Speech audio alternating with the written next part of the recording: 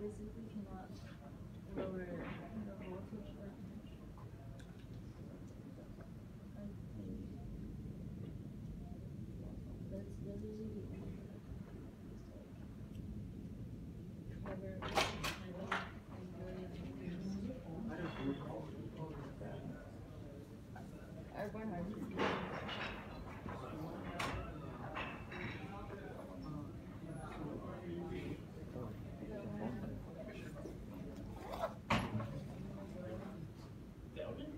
西。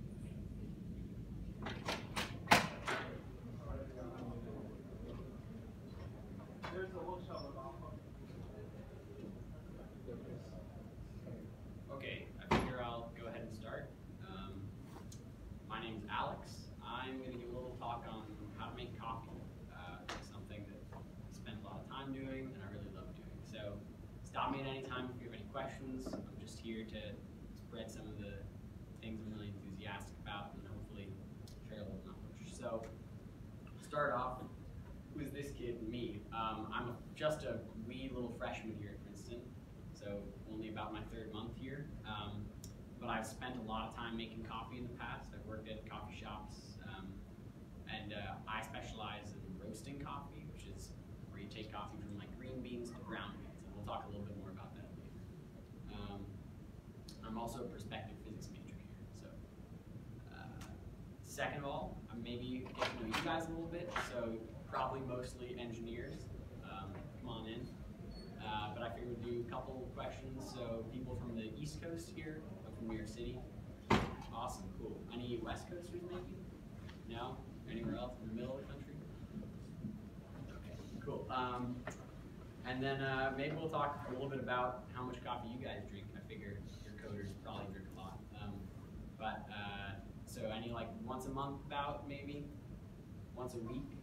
Hands up Yeah. until, until it's not uh, two to three times a week, maybe. Every day. Anyone? That's me. Okay.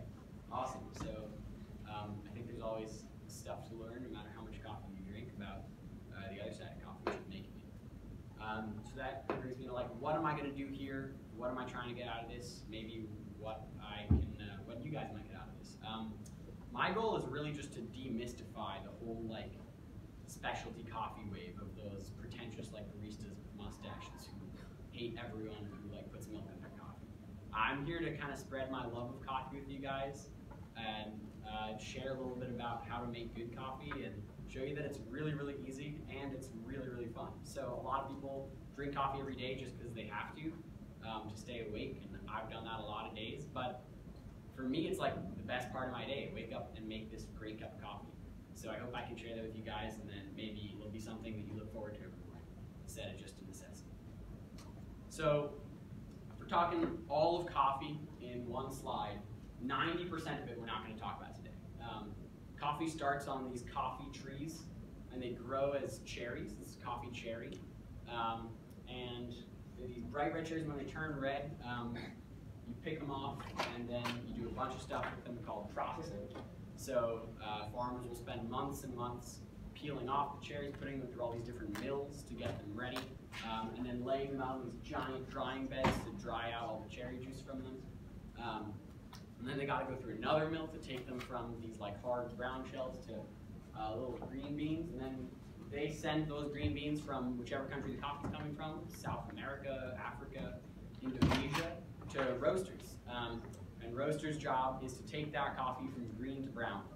And there's a lot of crazy stuff that goes on in there, but you can think of it just like baking a loaf of bread. You know, it comes out like this kind of white doughy thing. Uh, that, that's what you put in the oven. It comes out this nice brown, delicious, uh, flavorful loaf of bread. And so a lot of those reactions that are happening are the same.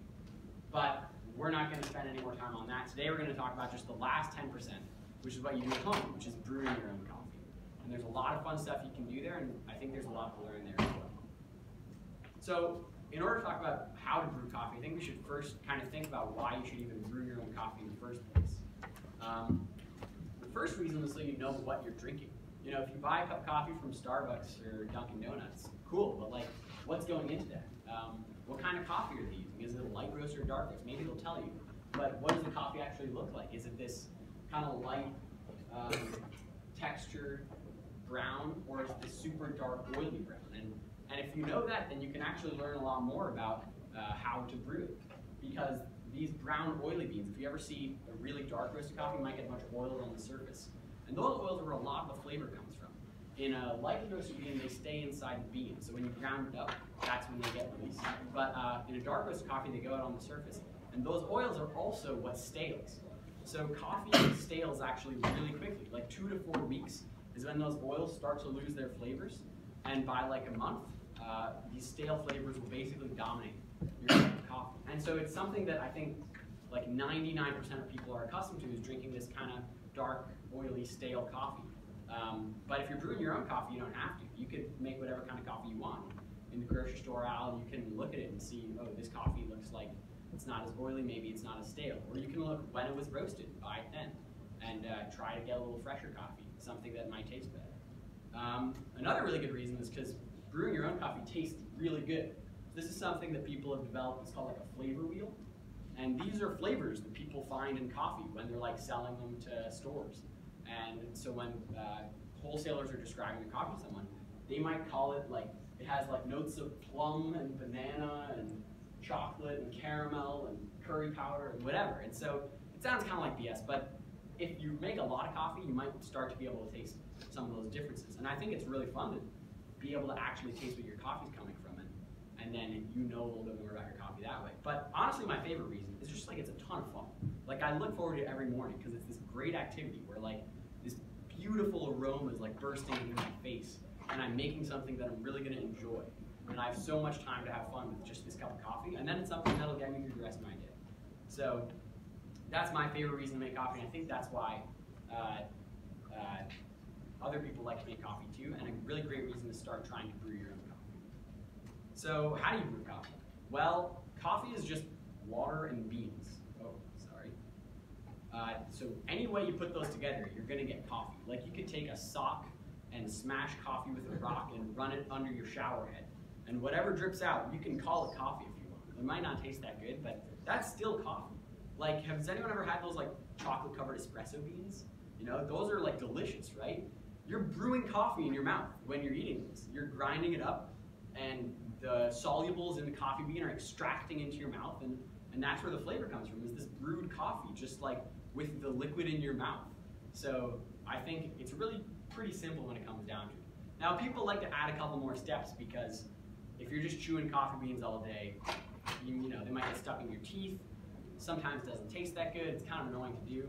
So the thing people like to do a lot is grind their coffee beans first instead of just using whole beans. Because if you put a bucket of beans in a bucket of water, it's not really going to extract that much. You know, they're kind of just going to sit on the top like floating pebbles or something. Um, but if you grind your coffee, then water is going to be able to extract a lot more of the flavor components from it. Um, another thing people like to do is if you just use cold water, it might not extract that much, but hot water is much better. Like any engineers in the room might know, or chemists, like as you increase the temperature of the liquid, oftentimes the solubility of whatever solids in that increase a lot. So, but you don't have to use hot water. Like you heard of cold brew, you just put cold water and coffee beans together and leave it in your fridge for 24 hours. Now, not everyone has like 24 hours to make a cup of coffee in the morning, so if you want, you can heat up your, your water and then it'll go a lot faster and it'll be a lot easier.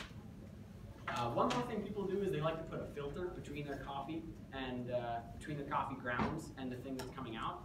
Um, because you know, getting coffee grounds in your teeth, that same thing. You can do it. It's just not that fun. But some people don't do this. There's a Turkish coffee, is this thing where you just put water on top of coffee grounds and then try to avoid the coffee grounds while you're sipping it. Some people like to do that too. So, the, if you take away one thing from today, it's do whatever you want. Like make coffee however you want to make it.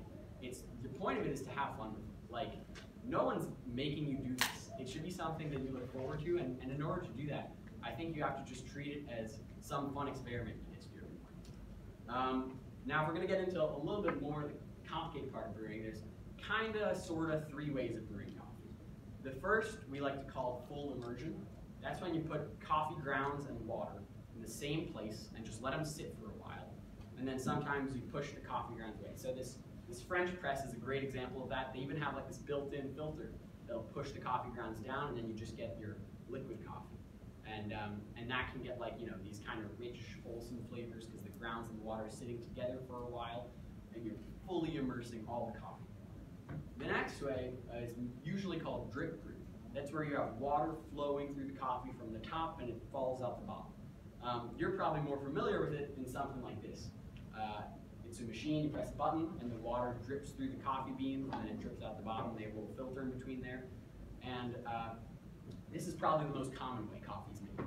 Like those giant jug uh, coffee makers in the back of Starbucks and the back of Dunkin' Donuts, those are just pipes of water on top of a filter basket with coffee in it, and then a big thermos at the bottom to hold the coffee when it comes out.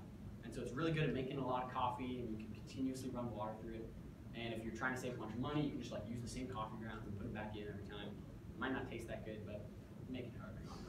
The last way to make coffee is pretty crazy. It's you take a bunch of pressure and you shove it all on this tiny little puck of coffee beans, and it gets out this super rich, syrupy, viscous liquid that's like super concentrated and it tastes crazy, and it's called espresso. Um, and it's like this tiny little bit of coffee that has like all of the solubles of an entire cup of coffee in it. So that can be pretty crazy too. But there's like a billion things with espresso. You can even put a bunch of like foam milk in it, and then it'll like cut down the taste, and that's where you get your latte art and your cappuccinos and everything. But I don't know anything about espresso because it's way too complicated for me. So we're gonna skip over that one today. Today we're gonna focus on drip brew, and specifically one type of drip brew called pour overs. Um, pour overs are called that because you're literally pouring the water yourself over the coffee beans. Um, and so it's fun, you get this little kettle and you get your filter and pour the water over, and we'll actually do that at the end too, so you guys can see it live. Um, now there's a couple different parts to a pour over, and this is your general outline for how you make a pour over. First, measure out everything. So you're gonna have some amount of coffee beans that you're gonna use, you're gonna have some amount of water that you're gonna use, and that's what's gonna be end up being your coffee in the end. Next, it's usually nice to heat your water a little earlier, because it might take a while to heat up, so I actually have it going right now. It's heating up in that kettle over there because it takes a while. Um, and leave that off to the side. Then uh, you want to grind your beans. So this is uh, one of the main parts. Remember we were talking earlier about how coffee stales. Um, and if you increase the surface area of that coffee, just like it's more soluble, when you increase the surface area by grinding it, it also stales much faster because you're exposing a lot more of those oils we talked about. And those oils are what stale. So if you buy ground coffee, it's a really good chance it's stale, unless someone just ground it like two seconds ago and you're making it in 10 minutes. Um, so grinders can be pretty expensive though. It's a really big, you know, uh, roadblock to, to making your own coffee. And, and in that case, you know, you can buy ground coffee. No one's gonna like get mad at you for it. Make coffee however you want to make it. But they do sell, I think it's important to know, like pretty cheap grinders that you just turn with your hand and you can make a cup of coffee and it's like 15 bucks on Amazon. So if that's the one investment you make is just like, you know, get one of those cheap little grinders and then pour the water on freshly ground coffee, and it'll taste a lot better. Um, next, you take that hot water and you get everything super hot and wet. Um, so you want to wet your filter paper so that it doesn't really taste like paper in your coffee anymore. Because if you don't, sometimes that like papery taste from those like paper cups that you get in your water can come out into your coffee. And the other reason why you want to wet everything is is like if you've ever poured like soup into like a cold bowl, that'll cool it down really quickly and that'll change the flavor of the soup too. But if you everything is really hot and at the same temperature and ready to go, then um, the coffee that was just brewed is going to taste the same in your cup as it did dripping through the, the filter paper. Um, next, you pour your grounds in your filter, and there you go. Off you go. Pour water on top, however long you want, however much you want, um, and let her rip. Uh, some people like to have, in fact, I like to have my little phone next to me when I'm making coffee, and I'll put a little timer up so that I can see how fast I'm pouring the water, how much water's going through. And uh, you can see this person even has like a scale at the bottom of their coffee, and so they know exactly how much water is going in every second. And that's like a really surefire way to make sure you're doing it right to the recipe.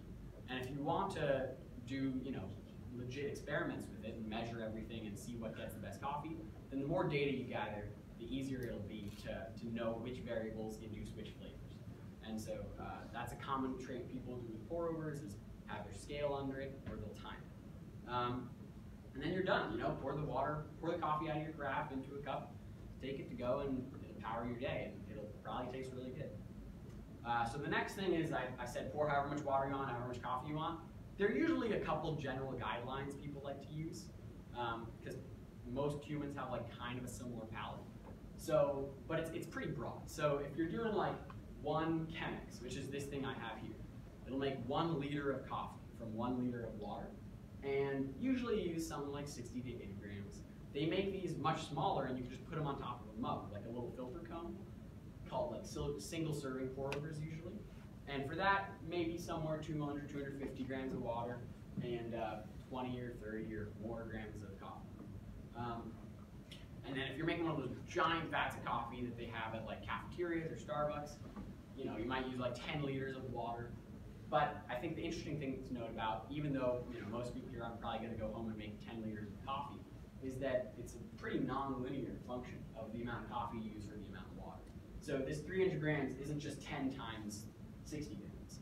Um, it, it, goes down because uh, coffee is being soaked in the water for longer, there's a lot of reasons. But people have figured out, you know, if you stick to somewhere around this, it'll probably turn out okay. But in general, the golden ratio of the amount of water you want to use to the amount of coffee doesn't exist. It's ridiculous. If you read an article that says someone has found the perfect ratio of coffee to water, don't believe them. They're wrong. Like, the perfect amount of coffee to water is whatever you like. It's whatever you have the most fun making. It's whatever coffee tastes the best to you.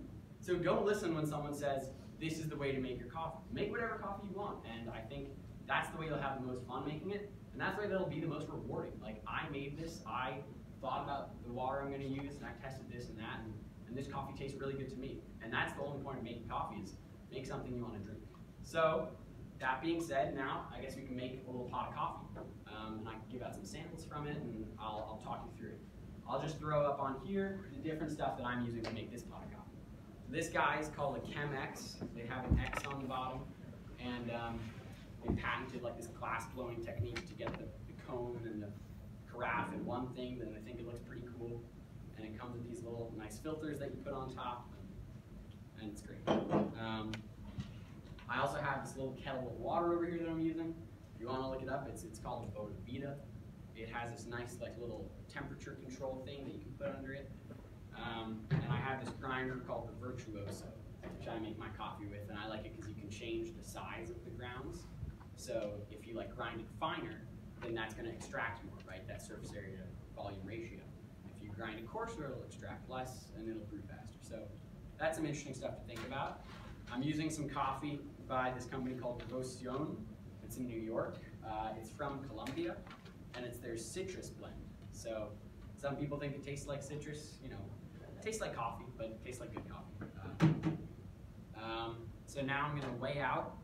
I'll probably go with, what did I say, 70 grams of coffee today? Yeah, um, just because that's what I'm feeling. So if you guys have any questions, you know, feel free to ask them during this because it'll be really boring if I'm just standing here pouring water over a thing of coffee. Um, but I can probably ramble on if no one has it. Um, this might be a little. Yeah. Do you uh, prefer over the French press or just into? One second. I sorry.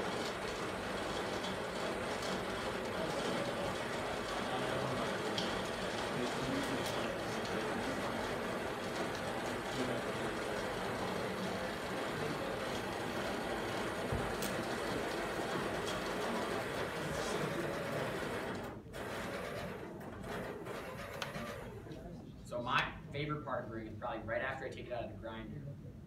I can inhale this giant whiff and it's like, whoa, blows your mind. And I'd love to share with you guys, but by the time it gets all the way around the whole room, it might even be stale by then. So instead, I'll just serve you the finished product. So uh, remember what I'm doing now, wetting everything, heating everything up. Um, have this little Chemex and just wet the whole filter paper. And I'm gonna throw this extra bit of water out so that it doesn't water down our brew. And then here we go. I'll put it on our scale so that I know what I'm doing. Pour in our coffee and start going. So one cool thing about pour overs is coffee has all these gases and solubles trapped inside of it. And um, when you pour a bunch of hot water on it, that increases the solubility of the gases and the oils trapped in. So something that happens sometimes is coffee will bloom up and it'll literally expand when you first pour water. So a lot of people like to just let the coffee sit for a second after you pour the first amount of water and let those gases come out and then all the coffee grounds are wet and they're ready to go. Um, so that's what I was doing there. And now I'll just pour my one liter of measured water out. And um, you know, people have different rules of thumb for what they're doing while they're doing pour overs. Um, I try to think of it like you don't want your coffee to swim in the water, because if it's just coffee grounds in like this giant pool of water, then they're going to extract a lot. Whereas if it's just they're kind of all moist, then they'll extract it, something that I found out that I liked. Um, but you know, you can play around with it yourself too. Uh, oh, sorry, I forgot your question. Oh, I was just wondering if you prefer pour over to um, French press or if it just looks cooler for the presentation. Yeah, well, it definitely looks cooler for the presentation. But um, I, uh, I I make pour overs at home just because it usually doesn't take as long. Um, and uh, I don't know, it kind of smells nice while you're doing it. Um, it's it's pretty easy. You don't have to clean like the whole French press thing. They have like that that filter in it is like metal. And you have to wash it out every time. It's kind of annoying. It's like a little paper. It's not too bad to wash out. Um, Have you ever used the, um, Aeropress? Aeropress? Yeah, yeah, so that's really cool. That's another way of brewing coffee that we didn't even mention, I didn't even put up there. It's like this cool combination of pressure and French press. So you pour a bunch of water into this cylinder, and it has a couple holes on the bottom, um, and you have your coffee in there. So it's sitting in this cylinder, and it's not really dripping out, maybe it's dripping out a little bit. And then you put a plunger on top, and you press all of the coffee and water through the filter. And so it's like this kind of really cool hybrid pressure and um, and uh, like full immersion brewing. But the problem with it is like espresso is so easy to screw up because it's this super messy, gigantic reaction going on all at the same time. You're literally using like I think it's like six atmospheres of pressure you're pushing through these super finely ground coffee beans. So that's why you get this crazy drink coming out of it. But at the same time, there's a lot of stuff that can go wrong. So like if you have one little hole in your little bed of coffee beans, all the water will just shoot through there and won't go anywhere else because it's at such high pressure. Um, and so it's not that bad with AeroPress, but AeroPress, I, I found it harder to make like a good cup of coffee every day with an AeroPress than with a pour Because this one, you're just pouring it on top, and have a conversation while you're doing it. You can give a presentation if you want. Any more questions about coffee? Yeah? If you didn't have time to like make your own coffee, where would you recommend buying? Like, like in Princeton or like In general. in general. Um, I think a really easy rule of thumb for a place that has good coffee is if they have roaster in the name of the coffee shop, then that means that their coffee is going to be much fresher than anywhere else. Because they probably roast their own coffee there. And if they roast their own coffee, then the guy who's roasting it won't let them sell stale coffee. Because like roasters can be like these like crazy like artists who like care a lot about coffee. And um, and so in general, I'd recommend like when I when I get to like a new city or something, if I'm like traveling, I like Google on my phone like coffee roastery, and like we'll go to like the top three that I find just to like try it out and see what it's like and talk to people there. And I think it's really fun. And the cool thing is, the people at those shops also love coffee, and um, they love talking about coffee too. So it's a cool way to kind of like get to know the city a little bit or get to try some new coffees. Yeah, How did you find that? This like this Chemex thing. Or the, the coffee? Oh, this is actually a place that I worked. So um, I was like an apprentice to the roaster there, Um, and he was crazy. He was this guy from Colombia who like didn't really speak any English, but was just like this god of coffee.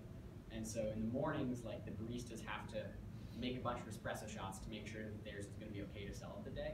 And like once they have figured out like the perfect ratio for the day based on like the humidity and the temperature and you know like the breeze through the shop, all those crazy variables, then after they've spent like 30 minutes tinkering with it, they like bring this little shot of espresso back to the roaster, and you drink it and you go, no good, and like they'd have to go back and do it again. so you get a lot of those people who are like crazy into coffee and really know their stuff, and those are the same kind of people who use all those crazy words to describe coffee that I was talking about earlier. Um, but if you spend a lot of time drinking coffee, like they do, a lot of the times you'll be able to start to sense some of those too. Um, it's kind of a way of like uh, hitting this equilibrium of your palate, like balancing it out, and then you start to ignore this kind of base coffee flavor, which coffee has.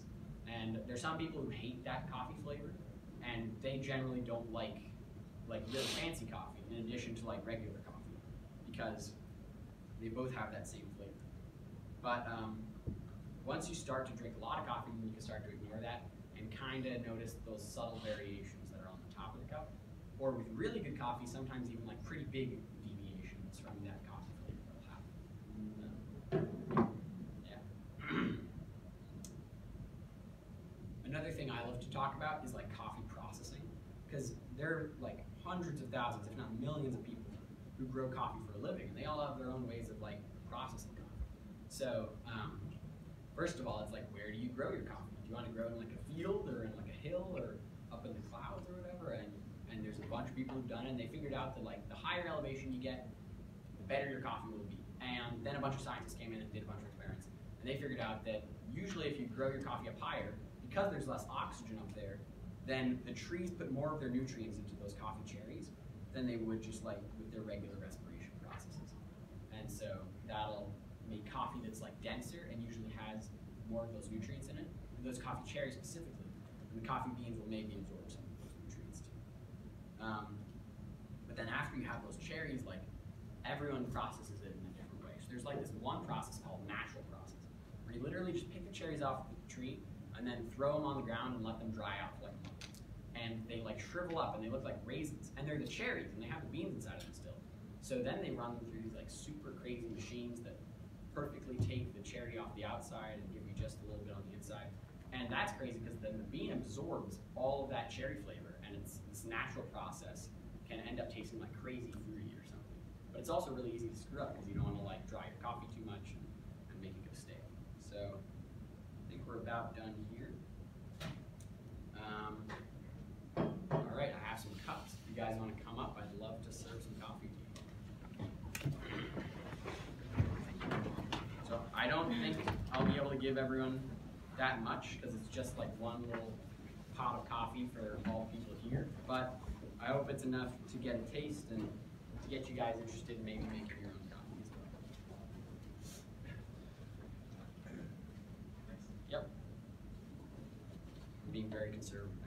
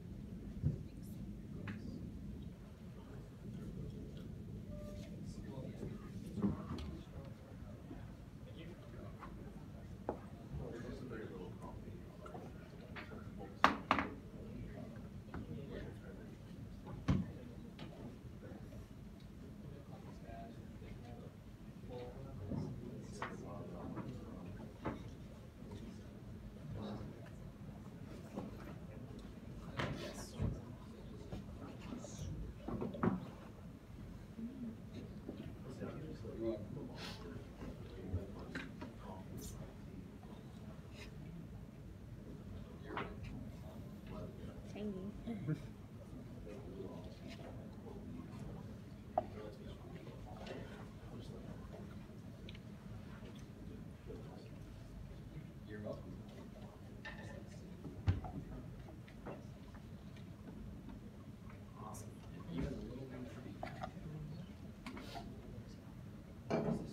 and then my last favorite thing to do is after I make someone else coffee, I spend all these months training with this coffee god at, at this company. He would shout these flavors at me every time we drank coffee, and I absorbed a little bit of it, so now I know it. And maybe I'll be able to identify some of the things you're tasting, and then that'll help you taste some of the things in the coffee that you make at home. So let's see if I can do it.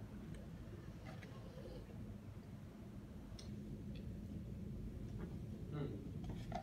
So uh, a lot of the most common adjectives in coffee have to do with like color. So for me, this it feels kind of like a bright cup of. It doesn't have that like heavy darkness that you might get in something from like Starbucks or Dunkin' Donuts. So that's the first thing that hits my mouth. Um, and then when I switched it around a little bit more, I got a little bit of like acidity, kind of like a lemon flavor, like a lemon zest, that just like pops in your mouth for a second and then kind of goes away. Um, and then I think this has like a, a pretty pleasant aftertaste where it, it doesn't like fill your mouth and sit on it for a while. Instead, it kind of washes down pretty quickly and, and leaves you with a little bit of that like brightness. So um, feels like a bright cup. Uh, and you can even see roast date. If you check over here. The roasters, like the, the coffee roasteries, always like will stamp their roast date on the back of the bag. So that's what you look for when you're like buying coffee. Another point. This one was roasted on October 23rd.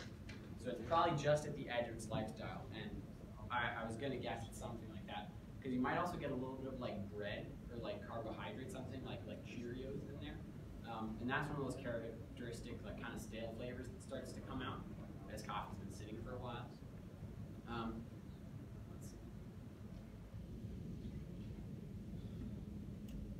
And then another really cool thing about coffee is the flavor profile totally changes as the cup of coffee cools down.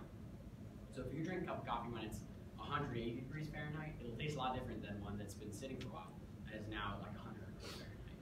Um, and I just noticed that because it kind of got a little bit fruitier for me. So something like like a jam, like a strawberry jam or something, that's like a, a nice little sweet flavor. Um, that doesn't like overwhelm me, but just pops in a little bit. Um, and that's probably another aspect of it being just on the edge of its lifespan is that these flavors aren't like crazy coating your mouth as they might be with coffee that was roasted two days ago, but they're just there to say hello and pop in and out. Um, okay, so that's it for me. Thank you guys so much for coming. I hope you learned something. All right, thanks very much.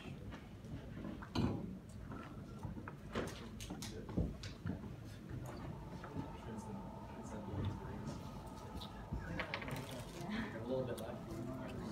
Top off.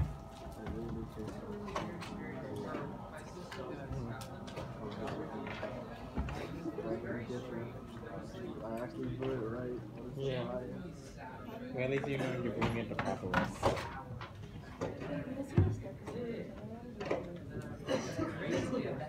Yeah. But like I asked, it were like,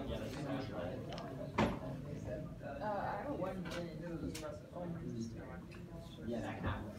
Like, like, just like the super there. They're just so strong. I bet you that, yeah, also like if you make a special the wrong way, it can taste sour. So it might be, I, I've never had like a cup of coffee that's hundreds of dollars. And espresso, when it's made perfectly, is just a cup of coffee, concentrated in it.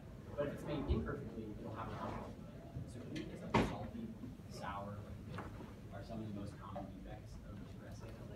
Like, just to get a shot of Starbucks, it just has a strong coffee.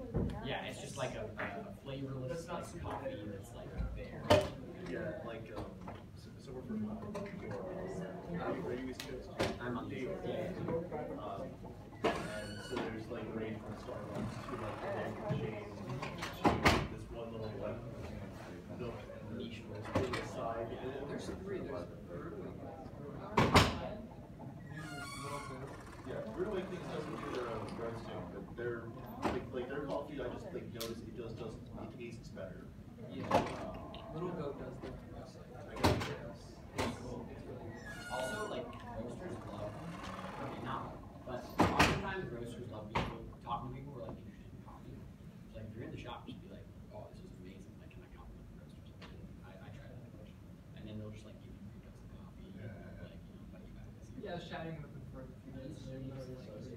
Yeah, It's yeah, like it's chocolate awesome. espresso. Oh, yeah, cool. I'm just wondering, how do you store your beans? Yeah, so, um, I used to freeze them, but So- didn't work at all. So, okay, so there's a giant debate in coffee about whether or not freezing your beans is good. And this new study just came out that people are really excited about, but I don't buy into it. And so they said, freezing your coffee beans is better it makes more beautiful inside the ground. When you because frozen coffee beans, like will sh- Shatter all along like that, shatter along the very long geometry of like frozen water. Exactly, but it doesn't actually like affect how you got the gases come. And I don't really, like, I don't really know, but, um, I store my coffee beans in these like, mo- almost every grocery uses what's called one-way bags. So they get holes that let gases out, but don't let gases in. Because oxygen is what causes coffee beans, like oxidizing, the staling process. And releasing the gases. So if you put fresh roast coffee beans in a Ziploc bag, and I've done this, in my yard, it literally like will explode the Ziploc bag, because there's coffee gases and everything else. Right. What's, what's the damage if you freeze the beans though, like, like? Okay. Some people do it, some people don't. I I was just wondering like, Sale. like, like the phenomenology, like, like why it might mess things up, cause I just. Why might mess things up? Well, Should uh, for me, the reason is like if you're throwing those in coffee beans, that's gonna be making them a lot more. That's, okay, yeah. And so like they'll probably unfreeze them super quickly, but every time you let them drop will like change your taste. Yeah, no, I, uh, appreciate it, yeah, this, this is awesome, I, I, like, I, I make black tea and like, not black tea, sorry, but like black coffee and just like whole